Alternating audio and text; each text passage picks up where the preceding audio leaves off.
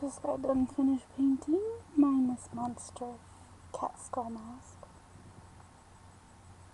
Um, the paint was a lot shinier than I thought it was, uh, but it still worked out. Instead of doing, because I expected this to be more of a matte color, but apparently I picked up a shinier color than I thought. Um, I was going to do the spots in gloss, so it wouldn't be too bright, but I actually like the gold.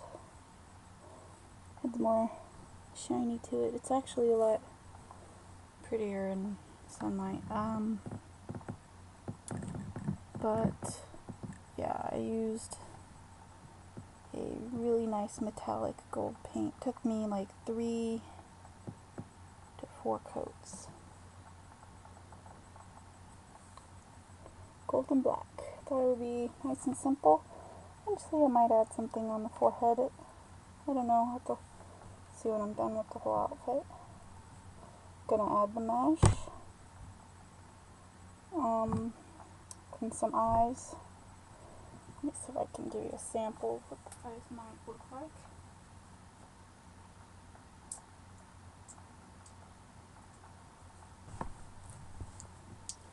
Have these, which I made for my monster.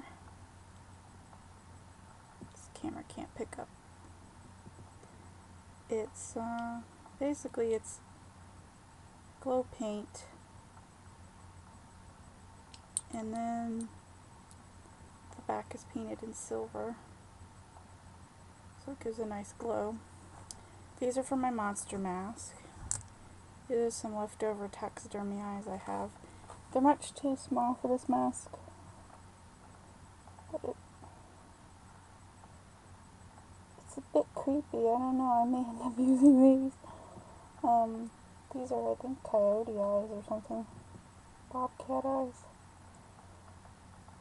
Um, I'm not going to glue the eyes in. I'm probably going to glue magnets on so I can just put the eyes on magnetically to the mesh. So if I feel like it, I can probably change it out. These are basically a blank type eye, which I think I'm going to go with, just like Miss Monster was doing.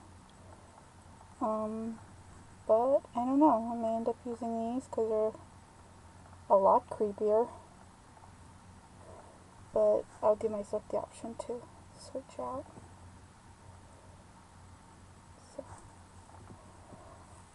still have to pad the inside and add the strapping. Very happy how it came out. Took me forever. Took took about four coats of the gold each. Took me about three or four layers of the spray paint to get it on neat because I didn't clean the mask well enough and it splotched in a few spaces. Right here, you can't really see it on this, but there's like a little splotch bubble, so I'll probably clean that up with some nail polish or something. But aside from that, it's beautiful. I love this mask so much and I can't wait to wear it.